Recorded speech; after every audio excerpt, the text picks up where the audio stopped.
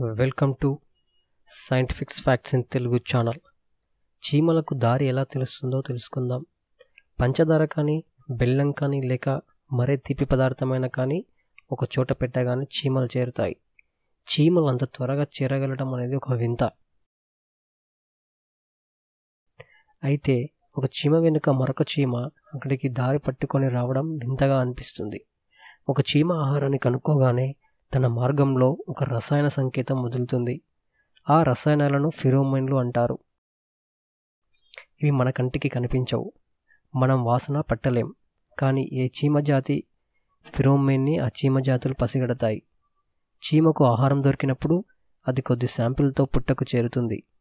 అయితే ఇలా పుట్టకు చేరే లోపలే ఆహారం ఉన్న స్థలాన్ని గుర్తించేందుకు ఆహారం ఉన్న ప్రదేశం నుంచి పుట్ట వరకు ఈ రసాయన సంకేతంని వదిలి దారిపై గీత ఏర్పరుస్తుంది. అదే గీతపై పుట్ట నుండి బయలుదేరిన మిగిలిన చీమలన్నీ ప్రయాణించి ఆహారాన్ని చేరుకుంటాయి. ఈ ఫిరోమెన్ గాఢత అధికంగా ఉన్న మార్గంలో అవి వెళతాయి. ఫలితంగా ఆహారానికి అతి దగ్గర దోవలో ఉన్న దారిని తెలుసుకుంటాయి.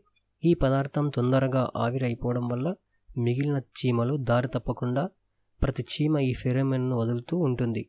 దానివల్ల చీమలు దారి తప్పకుండా ఒకదాని వెంట ఒకటి ప్రయాణిస్తూ ఉంటాయి.